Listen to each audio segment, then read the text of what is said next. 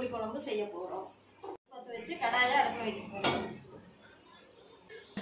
கடாய் சூடாயிருச்சு. வெங்காயம் வெங்காயம் தக்காளி தேங்காய் மூணையும் ஒன்றா போட்டு வதக்கி எடுத்துடலாம்.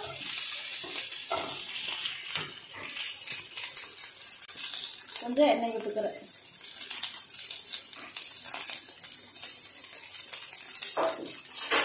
கொஞ்சம் எண்ணெய் விட்டு தேங்காயை வதக்கிட்டோம்னா பச்சை வாசம் பிடிக்காது வெங்காயம் தக்காளி தேங்காய் மூணையும் போட்டு நல்லா வதக்கி எடுத்துக்கிறோம்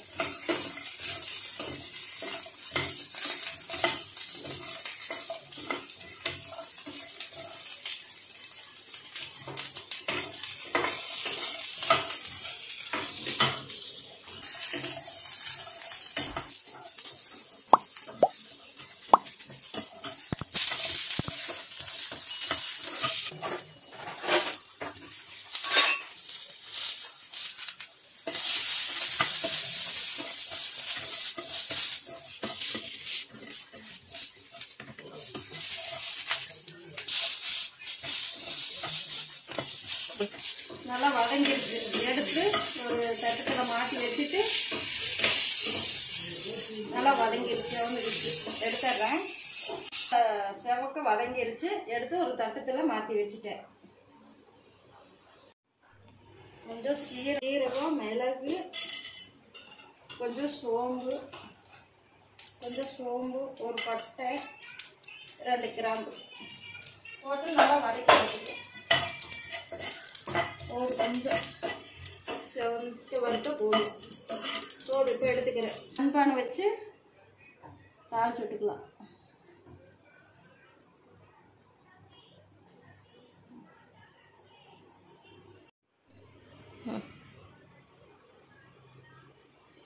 இப்போ சட்டி சூடாயிருச்சு.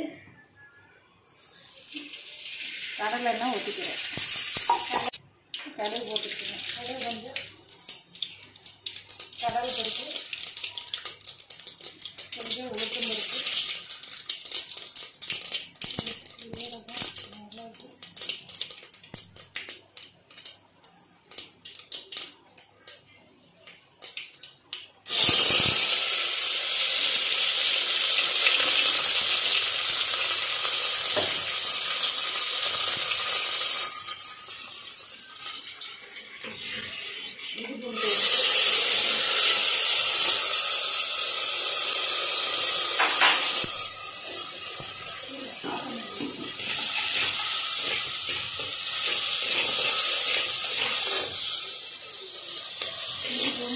பூண்டு போக வதக்கிட்டேன் வதக்கிட்டு கல்லுப்பு மஞ்சத்தூள் லெமன் போட்டு கழுவி வச்சுருக்கேன். நிறைய இப்போ போடுறேன். நல்லா எண்ணெயிலே வதக்கிடணும்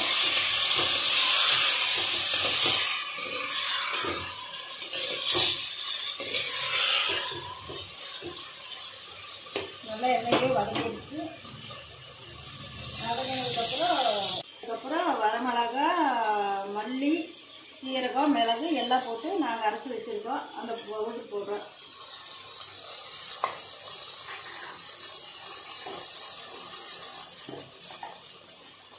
கொஞ்சம் மஞ்சத்தூள் போட்டுக்கோங்க. மஞ்சத்தூள் போட்டு. மல்லி மல்லிப்பொடி ஒரு ஸ்பூன். ஒன்றரை ஸ்பூன். ஒரு ஸ்பூன்.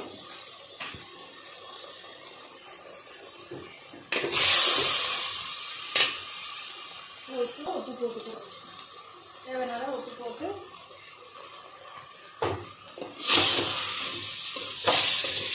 நல்லா எண்ணெயிலேயே நல்லா வதக்கிட்டுருங்க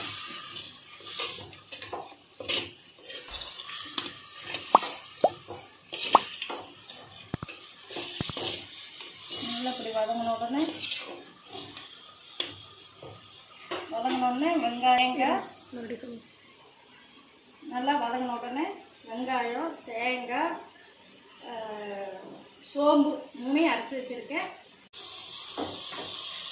வதக்கினதை அரைச்சி உள்ளே ஊற்றிட்டோம் வதக்கின தக்காளியை அரைச்சி இதில் சேர்த்துருக்கோம்.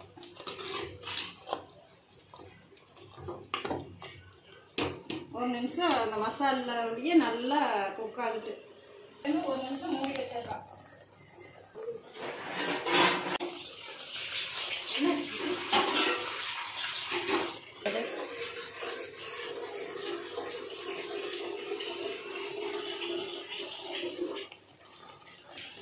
நல்லா பச்சை போக நல்லா மசாலாவிலேயே நல்லா நல்லா வதங்கிருச்சு.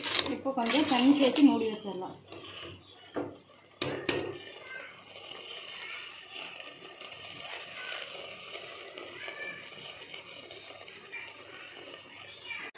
இப்போ நல்லா பச்சை வாசம் போக நல்லா வதங்கிருச்சு. இப்போ கொஞ்சம் தண்ணி சேர்த்து மூடி வச்சிட்டோம்னா ஒரு கால் மணி நேரம் நல்லா வெந்ததுக்கப்புறம் எடுத்துக்கணும் நல்லா வெத வதங்கிருச்சு. மசாலாவிலேயே நல்லா வதங்கிருச்சு.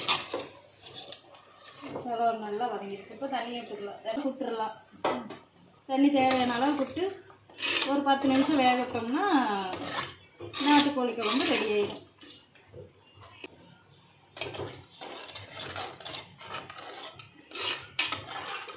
கொஞ்சம் தண்ணியாட்டவே இருக்கட்டும். நாட்டுக்கோழி குழம்பு அப்போ தான் ரசமாட்டம் நல்லாயிருக்கும் டேஸ்ட்டாக இருக்கும். எல்லாம் தாளிச்சுட்டு எல்லாம் ரெடி பண்ணியாச்சு. ஒரு பத்து நிமிஷம் ஒரு பத்துலேருந்து இருபது நிமிஷம் வரையும் மூடி வச்சு வேகட்டும்.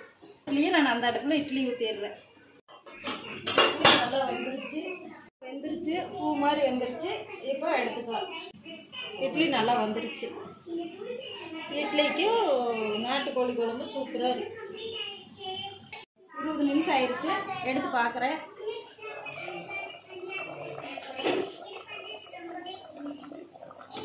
இப்போ ரெடி ஆயிடுச்சு நாட்டுக்கோழி குழம்பு ரெடி ஆயிடுச்சு நல்லா ரெடி ஆயிடுச்சு இப்படி. தண்ணியெல்லாம் சுண்டிருச்சு. இப்போ அடுப்பு ஆஃப் பண்ணிவிட்டு அடுப்பு ஆஃப் பண்ணிவிட்டு மல்லித்தலை போட்டு இறக்கிடுறேன்.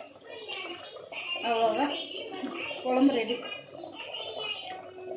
நாட்டுக்கோழி குழம்பு சூப்பராக ரெடி ஆயிடுச்சு இட்லி போட்டு நாட்டுக்கோழி குழம்பு சாப்பிட்டு பாருங்கள் நீங்களே வீட்டில் செஞ்சு பாருங்கள் சூப்பராக இருக்கும்.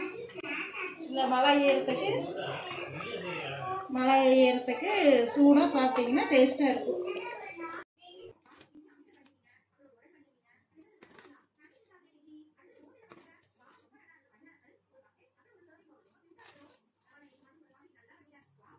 கோழி குழம்பு ரெடி ஆயிடுச்சு. இட்லிக்கு தொட்டு சாப்பிட்டீங்கன்னா சூப்பராக இருக்கும். இட்லி தொட்டுக்கலாம் சாதத்துக்கு தொட்டுக்கலாம் சப்பாத்திக்கு தொட்டுக்கலாம். மழை ஏறத்துக்கு சளிக்கு நல்லாயிருக்கும் சாப்பிட்டு பாருங்கள் வீட்லேயும் செஞ்சு சாப்பிட்டு பாருங்கள்